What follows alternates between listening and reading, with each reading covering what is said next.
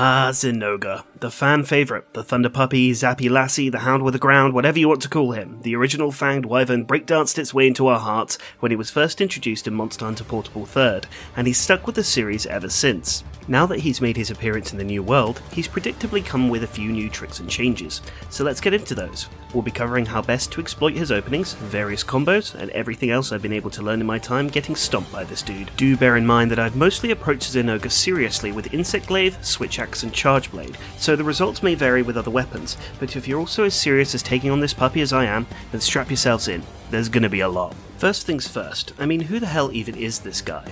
It's simple. Zinogre is the original Fanged Wyvern.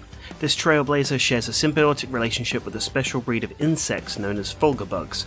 By summoning more of these insects, he charges static electricity, granting thunder element properties. This can then be infused into claw slams, back slams, tail slams, and even to call thunder down from the heavens.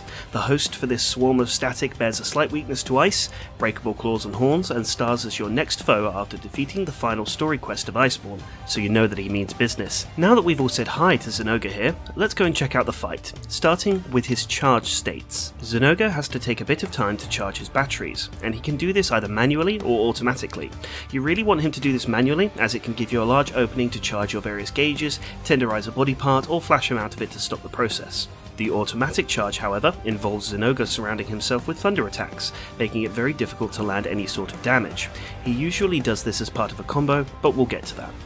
Once fully charged, his attacks deal more damage, inflict Thunderblight, and he speeds up in general. The good news is that you can knock him out of this mode by dealing enough damage, at which point this process will begin again. In order to understand Zinogre's charge mechanics, you have to realize that each type of animation holds its own value. Zinogre begins the hunt by needing a value of 4 to reach his fully charged state, and once this is dispelled, the requirement will lower to a value of 3. A manual charge increases the gauge by 1, and the automatic charge holds a value of 2. Needless to say, you really want the dog to learn how to sit for a second to get the best times out of him. This can also give you a good idea of how Zinogre will move, as he will always jump back once he reaches full charge, and roar to signify the change, so keeping track of these numbers is key to being prepared for the worst. A final thing to note is that Zinogre's charge levels are completely separate to his rage mode, so you best keep your eye on that icon. When both combine, you're in for a brutal onslaught of attacks. That leads us on nicely to said attacks, combos, and how to punish them. We'll start with his uncharged mode, and then cover the dance moves you will face once he gets his engine running. Now, we could cover the basic body tackles and how he moves, however there's really only a few things to watch out for. The main thing that you want to be aware of is the headbutt combos. Zinogre will headbutt forwards a lot, and chain it into a wide variety of attacks. If he jumps backwards after this headbutt, be on your guard, as he will jump towards you again and begin his auto charge attack. The auto charge can be punished, as it presents enough of a window for even Charge Blade to get a full SAED off. However, Thunder strikes around our target for this animation, preventing you from properly closing the gap. Nevertheless, there is a pattern to this madness. Now the way that I picture this attack is with a clock face, with Zinogre's head at the number 12. The lightning will trigger on every single even number on this clock face from head to tail, then a burst will surround him. You can position yourself on the odd numbers on this imaginary clock face to sneak an attack in, or ready your clutch claw. Moving on, the 360 degree tail swipe is another such attack that covers a circle around the monster. It's fairly uncomplicated, Zinogre will wind back and then sweep his tail around him in a circle. You want to pay attention to the tail itself and evade into it to bypass any damage. The last two things to cover are the pin and the manual charge. Zinogre's pin is unique in that it cannot be blocked even with guard up, and the hitbox persists just enough to mean that evading isn't really an option. The only option here is distance, and provided that you're right under his head, when you see the telltale spasm, it means that it's just a simple roll away from him. Once the paws hit the ground, you can jump back in and continue your assault. Now, to wrap up the uncharged state, we're going to talk about the manual charge. It's not necessarily an attack, but rather an opportunity.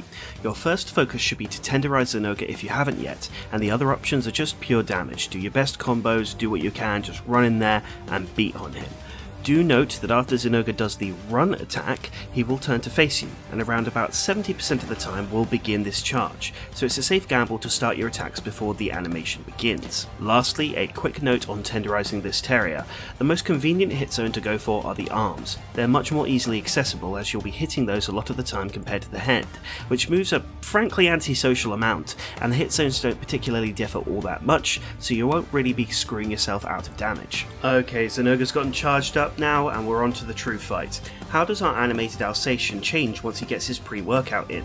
We'll cover these charge attacks now, both in and out of Rage mode. The main word of the day here is combos. The moves that we covered previously can be chained from and into other attacks, as well as some new offensive options making an appearance.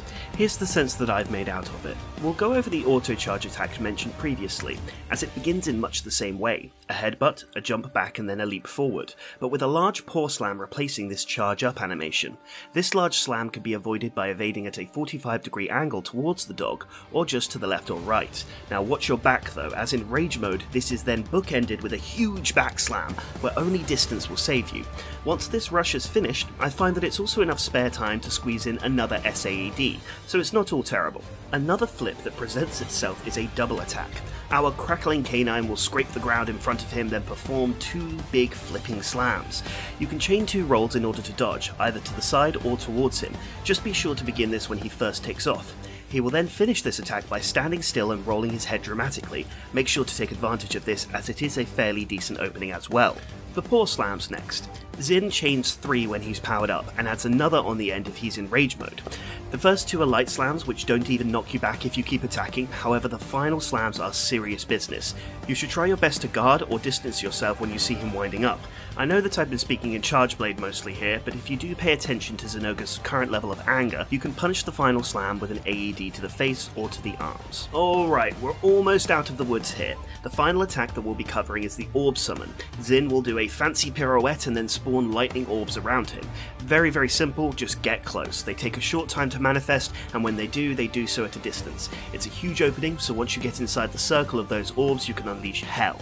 It's another SAED tier opening in terms of the time that it gives you. Whew, we're almost done. Finally, once you knock Zinogre out of charge, he will flinch to the side, but don't let up. He will always follow it up with a short roar that has no effect, so keep plugging away. As a final note, the roar when entering rage or full charge has just enough time for again another AED, so make sure to plan your weapons combo accordingly. So there you have it, an attempt to explain one of the most highly anticipated returning monsters this generation. I hope that this, while slightly intensive analysis can be helpful for predicting the Thunderwolf's next move, and can help you to get the most out of the fight.